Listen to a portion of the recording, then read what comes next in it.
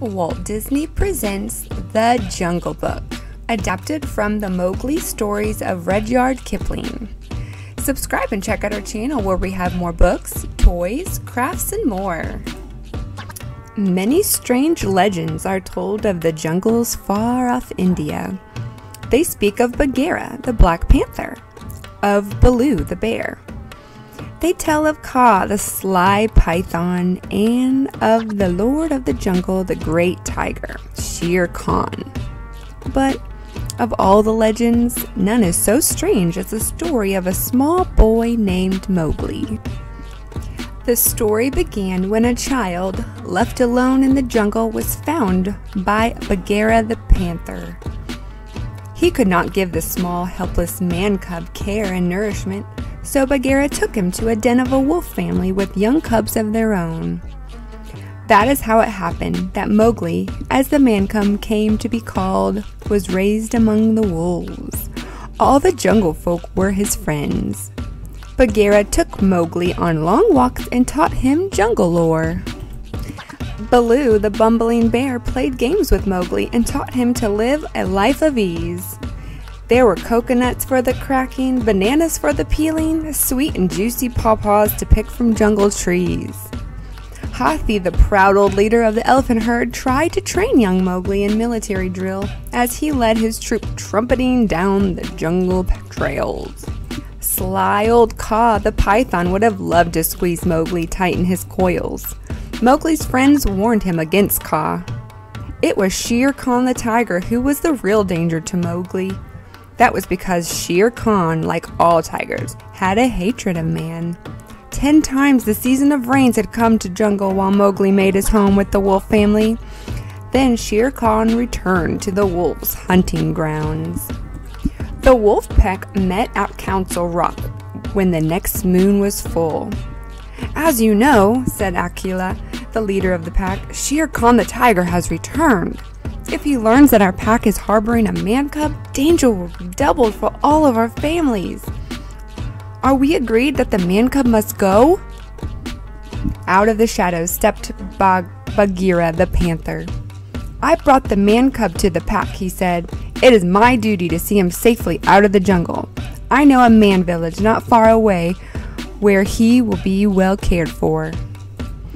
So it was arranged, and when the greenish light of the jungle morning slipped through the trees, Bagheera and Mowgli set out. All day they walked, and when night fell, they slept on a high branch of a giant banyan tree. All this seemed like an adventure to Mowgli, but when he learned that he was to leave the jungle, he was horrified. No, cried Mowgli. The jungle is my home. I can take care of myself. I will stay. He slipped down a length of the trailing vine and rudely ran away. For a while, Mowgli marched with Hathi and the elephants, but he soon tired of that. Then he found Baloo bathing in a jungle pool. Mowgli joined him for a dip. Suddenly, down swooped the monkey folk in noisy, foolish Bandar-log. They had snatched Mowgli from the pool before Baloo knew what was happening.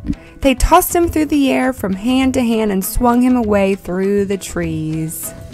Off in the jungle, Bagheera heard Mowgli's cry and came with a leap and a bound. The monkeys have stolen Mowgli away, gasped Baloo. Off raced Bagheera and Baloo to the ruined city where the monkeys made their home. They found Mowgli a prisoner of the Monkey King. Teach me the secret of fire, the Monkey King ordered Mowgli. The magic of fire will frighten even Shere Khan. With it, I shall be the equal of men. Until I know the secret, you are my prisoner. It took quite a fight for Bagheera and Baloo to rescue Mowgli that time. Now you see, they told him, why you must go to the man village to be safe. But alas, that foolish boy would not understand. He kicked up his heels and ran away again. This time, his wanderings led him to where Shere Khan lay waiting in the high grass, smiling a hungry smile. When Mowgli caught sight of the tiger, Shere Khan asked, Well, man cub, aren't you going to run? But Mowgli did not have the wisdom to be afraid. Why should I run? he asked, staring Shere Khan in the eye as the tiger gathered himself for a spring. I'm not afraid of you. That foolish boy, growled Bagheera, who had crept close just in time to hear Mowgli. Both Bagheera and Baloo flung themselves upon the Lord of the Jungle to save Mowgli once more. They were brave and strong, but the tiger was mighty of tooth and claw. There was a flash of lightning. A dead tree nearby caught fire. Mowgli snatched a burning branch and waved it in Shere Khan's face. The tiger, terrified, ran away. Mowgli was very pleased with himself as he strutted between the two weary warriors, Bagheera and Baloo. Suddenly, Mowgli stopped. From ahead came a sound that was strange to him. He peeked through the brush. It was the song of a village girl who had come to fill her water jar. As he listened to the soft notes of her song, Mowgli felt strange inside. He felt that he must follow her. Mowgli crept up the path to the village, following the girl and her song. Baloo and Bagheera watched the small figure as long as it could be seen. When Mowgli vanished inside the village gate, Bagheera sighed a deep sigh. It is just as it should be, Baloo, he said. Our Mowgli is safe in the man village at last. He has found his true home the end. Thank you again for watching this video. Don't forget to hit the like button and subscribe for more books. Have a great day. Thank you. Bye.